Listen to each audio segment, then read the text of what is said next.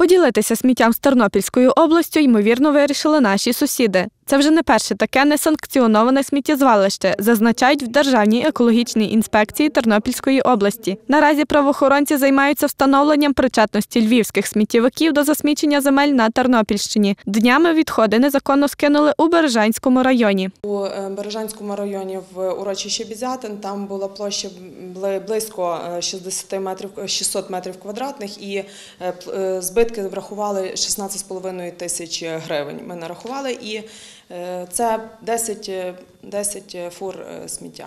В даному порушенні вбачаються ознаки злочину. А отже, якщо правоохоронці знайдуть власника сміття, йому грозить не лише зобов'язання прибрати відходи, а й штраф, передбачений кримінальним кодексом. Якщо ж такого власника не знаходять, то орган місцевого самоврядування згідно закону України про відходи зобов'язаний ліквідовувати несанкціоновані і неконтрольовані звалища на території своєї підконтрольної території.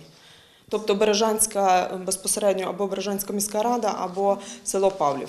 Сума штрафів питання найболючіше, зізнаються в екологічній інспекції. Е, Сума е, за засмічення е, вона найбезпосередньо і найвагоміше залежить від грошової оцінки. Та грошова оцінка в межах населених пунктів ще є встановленою, то за межами населених пунктів вона надзвичайно низька.